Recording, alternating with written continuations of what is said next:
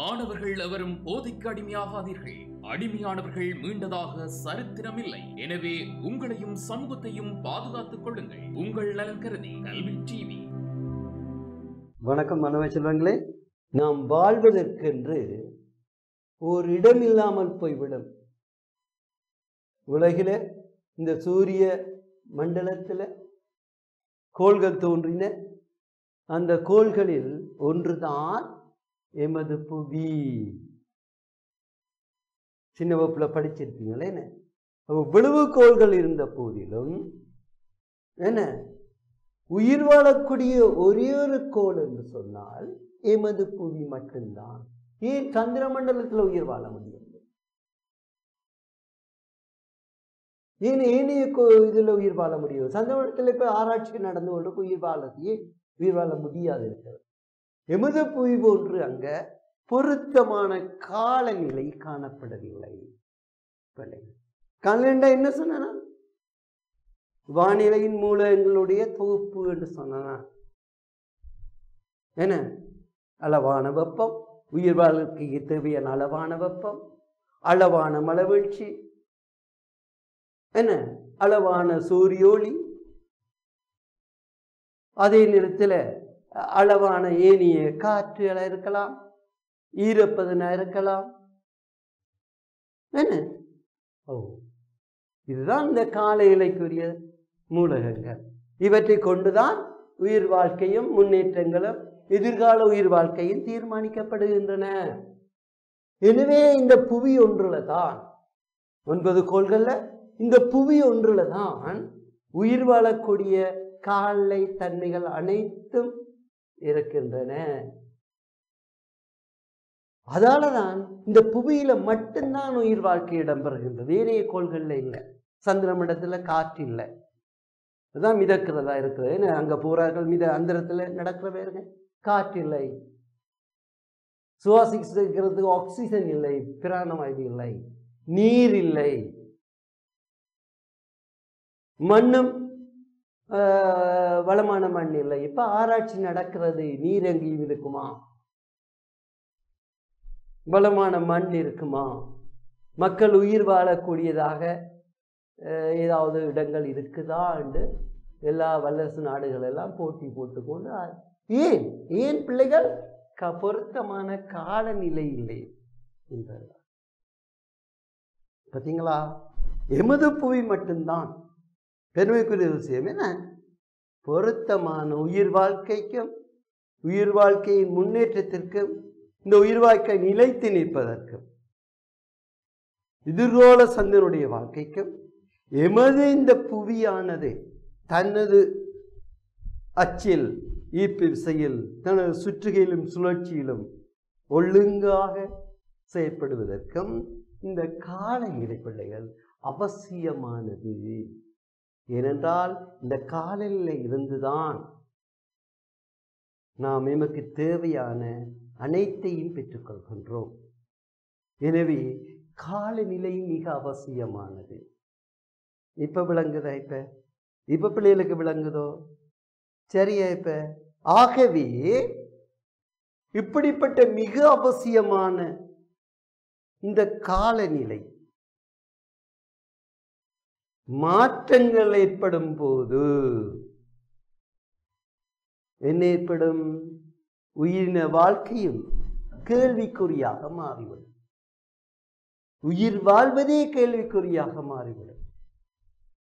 உதாரணம் இப்ப வெப்பம் அதிகரித்து கொண்டு போகுதெல்லோ சரியான வெப்பம்.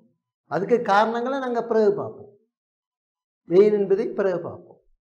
உப்பும் வெப்பம் அதிகரித்து கொண்டு போன பிள்ளைகள் என்ன அடக்கம்? சும்மா சாதாரணமாக சொல்லுங்காப்ப என்ன நடக்கும் சொல்லுங்காப்ப டக்குன்னு யோசிக்குமா சொல்லுங்காப்பம் அப்போ வெப்பம் அதிகரித்தால் என்ன அடக்கம்? வறட்சி ஏற்படும் என்ன? உங்களுக்கு டக்குண்டு வேர்த்து வலியுது வேர்க்குரு எல்லாம் போடுது. என்ன? எரியுது உடம்பு. சிலருக்கு அம்மன் நோய் போட்டு விடும் என்ன வைக்கிறீங்களா எரிச்சலாக இருக்கு. என்ன? ஓகே. பார்த்தீங்களா என்ன நடக்குதுன்னு பார்த்தீங்களா இதே மாதிரி அப்படியே வெப்பம் அதிகரித்து கொண்டு போனால் நீரெல்லாம் வற்றி விடும் கட்டாந்தரையாக மாறிவிடும். எனவே உணவு செய்ய முடியுமா? இல்லை. உயிரினங்கள்லாம் மறந்து விடும் மனிதன் உட்பட என்னை உயிரினங்கள் இறந்துவிடும். உணவு கிடைக்குமா? இல்லை. குடிக்க நீர். இல்லாமல் போய்விடும் இல்லையா? பாலைவனங்களாக மாறிவிடும்.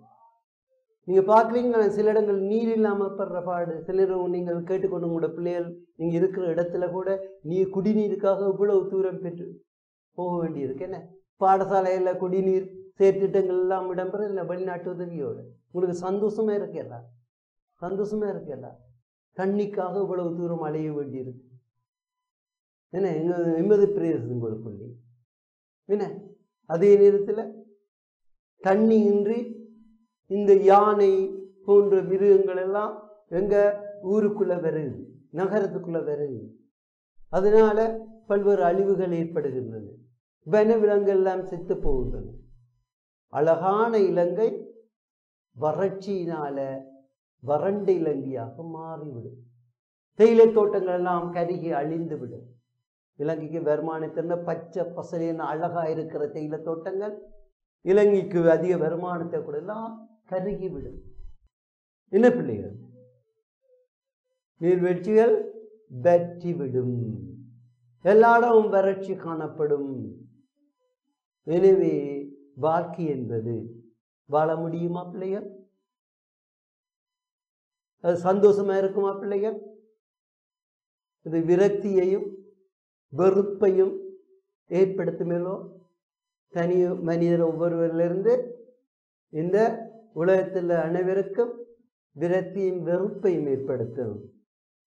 என்ன கோபங்களை ஏற்படுத்தும். ஏனால் இந்த வறட்சியின் காரணமாக. போட்டி பொறாமைகளை ஏற்படுத்தும். உணவை பெற்றுக்கொள்வது பிள்ளைகள் வெப்பத்தின் காரணமாக. என்னடக்கும் பிள்ளைகள்? வெப்பம் அதிகரித்தோன்னு இப்போ இந்த வெப்பம் அதிகரித்து சென்றால் உணவு கிடைக்காது. ஏன்? வறட்சி. குடிக்க தண்ணி இல்லை. என்ன பிள்ளைகள் போக்குவரத்து செய்ய முடியாது வெளியில் இறங்க முடியாது. பல்வேறு நோய்கள் குடிக்க தண்ணிக்கு அந்தரப்பட தெரியவன் உயிரினங்களுக்கெல்லாம் விச நாய் அஹ், நோய்கள் ரோட்டில் எல்லாம் தெரியும். யானைகள் எல்லாம் காட்டுக்குள்ளேருந்து வந்துவிடும் தண்ணிக்காக நகர பகுதியில். பல்வேறு பிரச்சனைகள் வெப்பத்தின் காரணமாக ஏற்படும் பிள்ளைகள் வெப்பம் அதிகரித்து கொண்டு போனால் எங்களுடைய நாளந்த வாழ்க்கையில் சந்தோஷமும் இருக்காது வறட்சியும் வெறுப்பும்.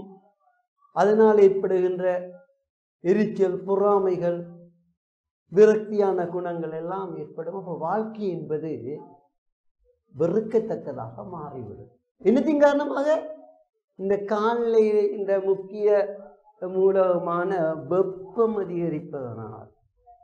பார்த்தீங்களா பிள்ளை? இதே நேரத்தில் மழை வீழ்ச்சி அதிகரித்தாலும் அதே பிரச்சனை தான். வெள்ளப்பெருக்கு இன்னைக்கு நீங்க பார்க்கலாம் உலகத்தில் எல்லா இடங்களிலும் என்ன? வெள்ளப்பெருக்கு ஏற்படுகின்றது. என்ன பிள்ளைகள் ஓ இதனால அந்த கிராம நகரம் எல்லாரும் அழிந்து விடும் விவசாய நிலங்கள் அழிந்து விடும் மக்கள் சாவார்கள் இடம்பெயர்வார்கள். சொத்துக்கள் அழிந்து விடும் என்ன? மின்சாரங்கள்லாம் தடைப்பட்டு விடும். போக்குவரத்து தடைப்பட்டு விடும். அப்பள வாழ்க்கை ஏற்படும். இந்த நாங்க பார்த்தோம் இயற்கை இடர்கள் பார்த்தோம் நாங்கள் இதெல்லாம் இந்த காலை மாற்றங்களால் தான் பிள்ளைகள் ஏற்படும் இப்போ காலநிலை மிக முக்கியமானது. அது மாற்றமடைகிறது என்றால் அதனுடைய இயல்பான நிலை மாற்றப்படுவதுதான் காலநிலை மாற்றம் எனப்படும். அதாவது ஒன்று ஒழுங்காக இயங்கும் கொண்டிருக்கும் போது ஒரு ஒழுங்கமைப்பு ஒன்று இருக்கும்போது அது உயிர்நிம வாழ்க்கையா இருக்கலாம் ஏனையவாம் இருக்கலாம். ஒன்று செயற் உயிர் வாழ்வதற்கோ அல்லது செயற்படுவதற்கோ அல்லது முன்னேற்றம் அடைவதற்கோ தேவையான ஒரு ஒழுங்கமைப்பு. அந்த ஒழுங்கமைப்பு தடைபடும் போது அது மாற்றத்தை ஏற்படுத்தும். அந்த ஒழுங்கமைப்பில் தடைகள் ஏற்படும் போது அது மாற்றத்தை உருவாக்கும். இப்போ ஒழுங்கான இந்த செயற்பாடுகள் பல்வேறு காரணிகளினால தடுக்கப்படும் போது அது மாற்றத்தை உருவாக்கும். இவ்வாறு தான் நாம் வாழுகின்ற இந்த புவியில் இந்த வானவெளியில இடம்பெறுகின்ற இந்த நாங்கள் வெப்பம். மலைவீழ்ச்சி காற்று ஈரப்பதன் நமக்கு இறக்கங்கள் இவ்வாறான இந்த வானிலை மூலகங்கள் எல்லாம் அதை ஒழுங்காக இடம்பெறுகின்ற அந்த செயல்முறைகள் பல்வேறு காரணிகளால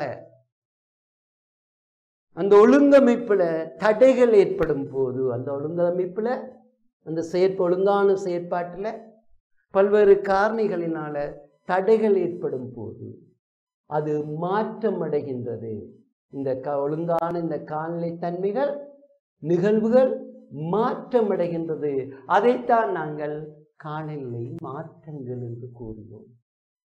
இப்ப விளங்குதா பிள்ளைகள்? ஆகவே இந்த காலநிலை எவ்வளவு அவசியமானது முக்கியமானது என்று நான் முன்னுக்கு கூறியிருக்கிறேன்.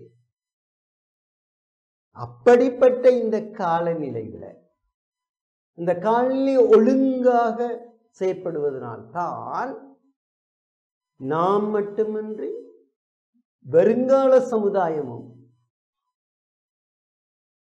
உயிர் வாழ்வதற்கும் வளர்வதற்கும் முன்னேற்றம் அடைவதற்கும் இந்த காலை அவசியம் என்று சொன்னேன்.